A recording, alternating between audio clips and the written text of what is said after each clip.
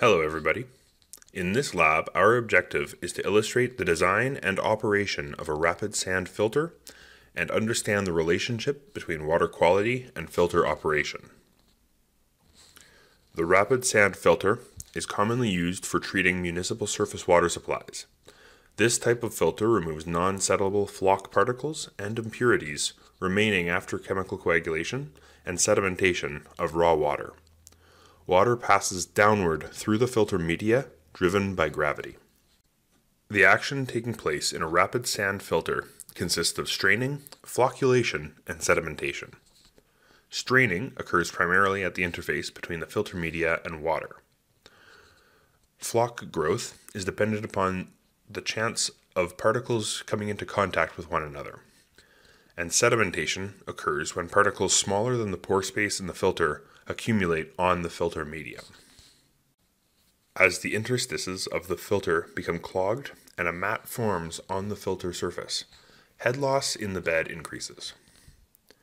The end of a filter run, or the filtration phase, is reached when the suspended material in the effluent starts to increase beyond an acceptable level, known as breakthrough, or when a limiting head loss occurs across the filter bed.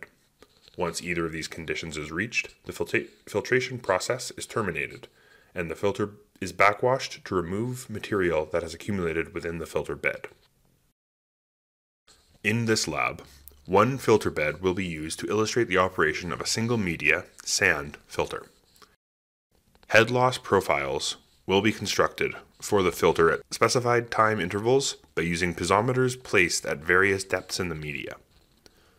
Filtrate quality will also be monitored by performing turbidity measurements at 3 minute intervals to determine the filter operating characteristics.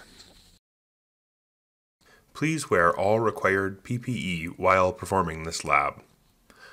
Lab coat, gloves, safety goggles, and with any long hair tied back. This is a demonstration lab, meaning that the technicians will operate the filter apparatus following this procedure. Preparation A. Weigh 75 Gooch crucibles to be used for TSS. B. Calibrate turbidimeters with standards of 0 and 40 NTU.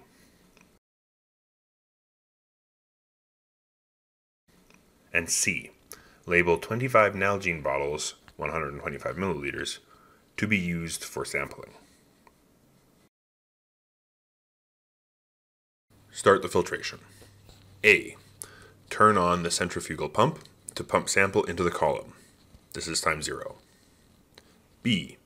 Use the valve on the filtration flow meter to adjust the flow to around 50 liters per hour while maintaining a constant head. This means that the fluid level should be in the middle of the piezometers in tubes 1 through 10.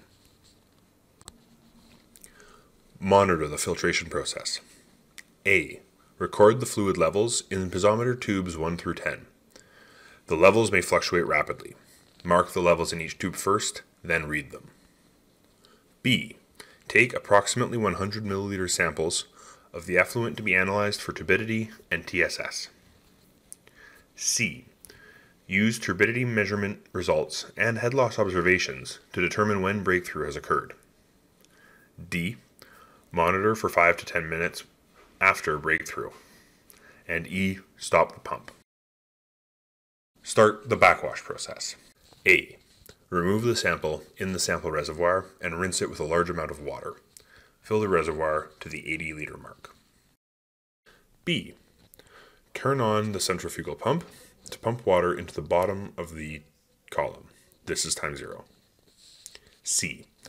Use the valve on the backwash flow meter to adjust the flow to around 300 liters per hour.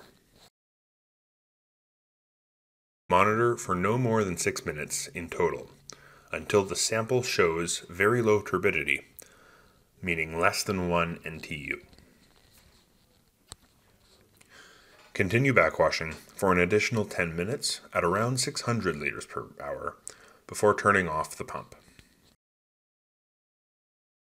Be careful of water on the floor and walk slowly while in the lab. After this lab, you should know how to operate a rapid sand filter and understand the relationship between water quality and filter operation.